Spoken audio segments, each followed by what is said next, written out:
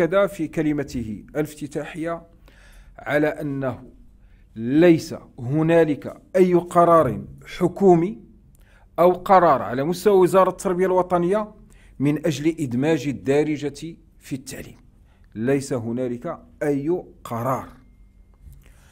وأن الأمر محسوم دستوريا باعتبار أن الدستور واضح في أن اللغتين الرسميتين لبلادنا هما العربية والأمازيغية. كما أن الرؤية كما أن القانون الإطار الذي تمت المصادقة عليه نص في المادة 32 منه بوضوح على التقيد بلغات التدريس المقررة دون غيرها من الاستعمالات اللغوية وهو نص صريح.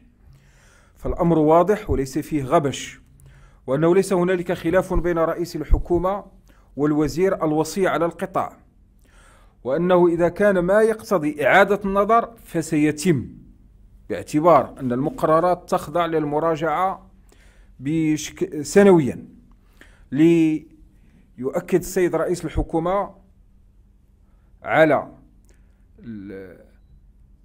طمأنة المواطنات والمواطنين على أن الحكومة منكبة على هذا الورش ورش إصلاح التعليم في شموليته وأنها تنصت لردود فعلهم وتأخذها بعين الاعتبار فالمجتمع المغربي حي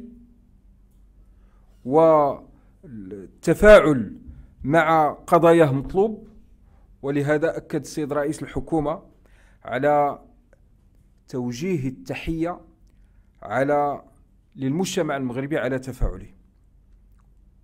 وفي نفس الوقت وهو يوجه هذه التحية للمجتمع المغربي يدعو إلى التثبت فيما ينشر خاصة وأن صور تتعلق آه، بكتب ليست مقررات دراسية معتمدة في بلادنا وبعضها يهم دول أجنبية أخرى جار ترويجها ليؤكد على ضرورة التثبت فيما ينشر.